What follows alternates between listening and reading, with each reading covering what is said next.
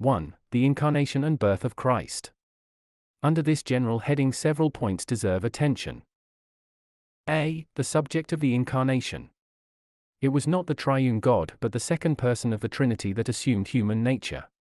For that reason, it is better to say that the Word became flesh than that God became man. At the same time, we should remember that each of the divine persons was active in the Incarnation, Matt 1:20, Luke 1 verse 35, John 1 verse 14, Acts 2 verse 30, Romans 8 verse 3, Galatians 4 verse 4, Phil 2 colon 7. This also means that the Incarnation was not something that merely happened to the Logos, but was an active accomplishment on his part. In speaking of the Incarnation in distinction from the birth of the Logos, his active participation in this historical fact is stressed, and his pre existence is assumed. It is not possible to speak of the incarnation of one who had no previous existence. This pre existence is clearly taught in Scripture. In the beginning was the Word, and the Word was with God, and the Word was God. John 1 verse 1. I am come down from heaven, John. 6:38 For ye know the grace of our Lord Jesus Christ that though he was rich yet for our sakes he became poor. 2 Corinthians 8 verse 9 Who existing in the form of God counted not the being on an equality with God a thing to be grasped but emptied himself taking the form of a servant being made in the likeness of men Phil 2 6 7 But when the fullness of the time came God sent forth his son Galatians 4 verse 4 the pre existent Son of God assumes human nature and takes to himself human flesh and blood, a miracle that passes our limited understanding. It clearly shows that the infinite can and does enter into finite relations, and that the supernatural can in some way enter the historical life of the world. B. The necessity of the Incarnation. Since the days of scholasticism, the question has been debated whether the Incarnation should be regarded as involved in the idea of redemption, or as already involved in the idea of creation. Popularly stated, the question was whether the Son of God would have come in the flesh even if man had not sinned. Rupert of Deutz was the first to assert clearly and positively that he would have become incarnate irrespective of sin. His view was shared by Alexander of Hales and Duns Scotus, but Thomas Aquinas took the position that the reason for the incarnation lay in the entrance of sin into the world. The Reformers shared this view, and the churches of the Reformation teach that the incarnation was necessitated by the fall of man. Some Lutheran and Reformed scholars, however, such as Osiander, Roth, Dorner, Lange, Van Oosterzee, Martensen, Ebrard, and Westcott, were of the contrary opinion. The arguments adduced by them are such as the following, such as stupendous. Fact as the incarnation cannot be contingent, and cannot find its cause in sin as an accidental and arbitrary act of man. It must have been included in the original plan of God religion before and after the fall cannot be essentially different. If a mediator is necessary now, he must have been necessary also before the fall. Moreover, Christ's work is not limited to the atonement and his saving operations. He is mediator, but also head, he is not only the arche, but also the telos of creation. 1 Corinthians 15 verses 45 to 47, Eph. 1 colon 10, 21 23, 5 colon 31, 32, Colossians 1 verses 15 to 17. However, it should be noted that Scripture invariably represents the incarnation as conditioned by human sin. The force of such passages as Luke 19 verse 10, John 3 verse 16, Galatians 4 verse 4, 1 John 3 verse 8, and Phil 2 colon 5 11 is not easily broken. The idea, sometimes expressed, that the incarnation in itself was fitting and necessary for God, is apt to lead to the pantheistic notion of an eternal self revelation of God in the world. The difficulty connected with the plan of God, supposed to burden this view, does not exist, if we consider the matter sub specie eternitatis. There is but one plan of God, and this plan includes sin and the incarnation from the very beginning. In the last analysis, of course, the incarnation, as well as the whole work of redemption was contingent, not on sin, but on the good pleasure of God. The fact that Christ also has cosmical significance need not be denied, but this too is linked up with his redemptive significance in Eph 1 colon 10, 20 23, Colossians 1 verses 14 to 20. See, the change effected in the incarnation. When we are told that the Word became flesh, this does not mean that the Logos ceased to be what he was before, as to his essential being, the Logos was exactly the same before and after the incarnation. The verb egeneto in John 1 verse 14, the word became flesh, certainly does not mean that the Logos changed into flesh, and thus altered his essential nature, but simply that he took on that particular character, that he acquired an additional form, without in any way changing his original nature. He remained the infinite and unchangeable Son of God. Again, the statement that the Word became flesh does not mean that he took on a human person, nor, on the other hand, merely that he took on a human body. The word sarx, flesh, here denotes human nature, consisting of body and soul. The word is used in a somewhat similar sense in Romans 8 verse 3, 1 Timothy 3 verse 16, 1 John 4 verse 2, 2 John 7, Comp. Phil 2 colon 7. D. The incarnation constituted Christ one of the human race. In opposition to the teachings of the Anabaptists, our confession affirms that Christ assumed his human nature from the substance of his mother. The prevailing opinion among the Anabaptists was that the Lord brought his human nature from heaven, and that Mary was merely the conduit or channel through which it passed. On this view, his human nature was really a new creation, similar to ours, but not organically connected with it. The importance of opposing this view will be readily seen. If the human nature of Christ was not derived from the same stock as ours, but merely resembled it, there exists no such relation between us and him as is necessary to render his mediation available for our good. E. The incarnation effected by a supernatural conception and a virgin birth.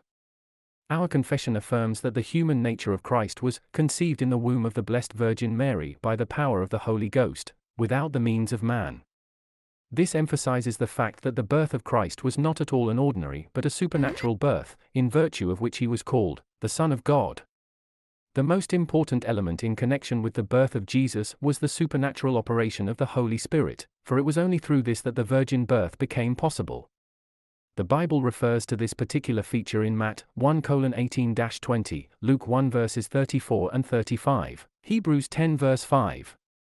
The work of the Holy Spirit in connection with the conception of Jesus was twofold 1. He was the efficient cause of what was conceived in the womb of Mary, and thus excluded the activity of man as an efficient factor.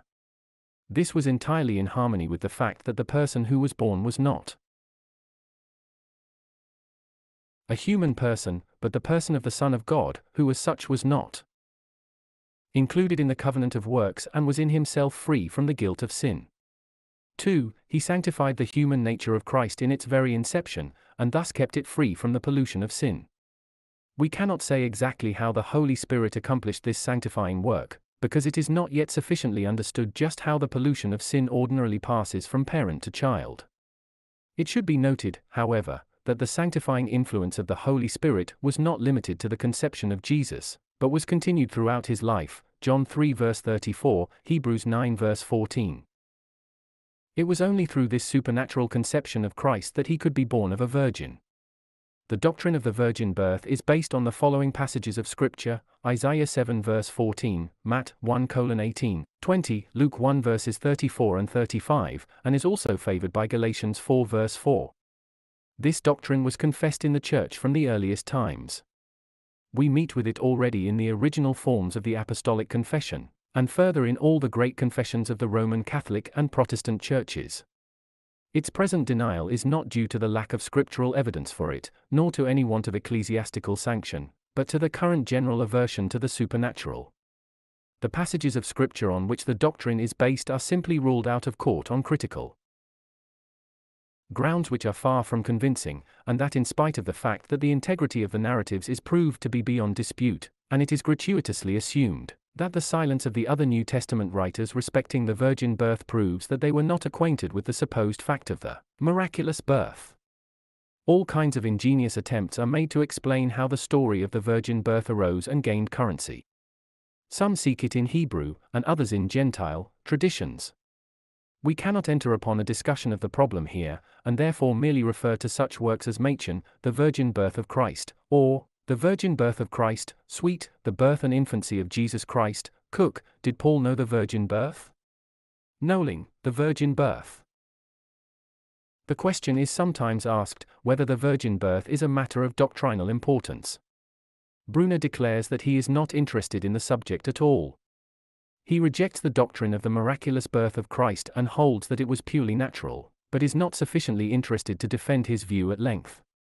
Moreover, he says, the doctrine of the virgin birth would have been given up long ago were it not for the fact that it seemed as though dogmatic interests were concerned in its retention. The Mediator, page 324. Barth recognizes the miracle of the virgin birth, and sees in it a token of the fact that God has creatively established a new beginning by condescending to become man. The Doctrine of the Word of God, page 556, Credo, pp 63ff, Revelation, pp 65f. He also finds in it doctrinal significance.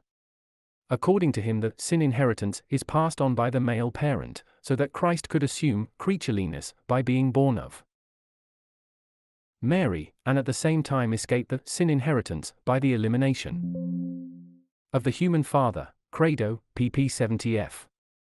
In answer to the question whether the virgin birth has doctrinal significance, it may be said that it would be inconceivable that God should cause Christ to be born in such an extraordinary manner, if it did not serve some purpose. Its doctrinal purpose may be stated as follows 1. Christ had to be constituted the Messiah and the Messianic Son of God.